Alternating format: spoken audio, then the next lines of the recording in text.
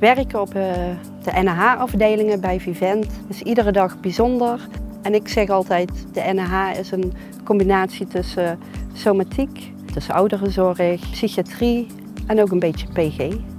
Werken op de NH-afdeling is echt een uh, specifieke doelgroep. Ja, je hebt heel veel verschillende mensen, dat heb je natuurlijk ook in het dagelijks leven al. Maar door de hersenletsel veranderen mensen heel erg. En dat maakt het toch wel heel bijzonder.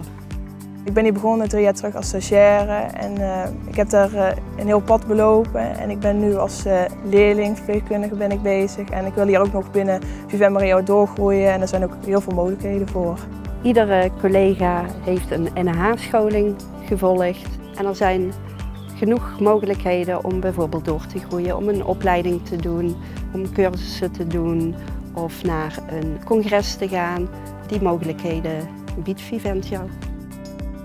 Ik heb specifiek voor deze doelgroep uh, gekozen omdat ik toen merkte dat er ook mogelijkheden waren om activiteiten te doen met deze bewoners. En dat vind ik een hele mooie afwisseling met de gewone dagelijkse zorg. Sommige cliënten hebben uh, behoorlijk probleemgedrag of onbegrepen gedrag. En ik vind het een uitdaging om daar mee om te gaan.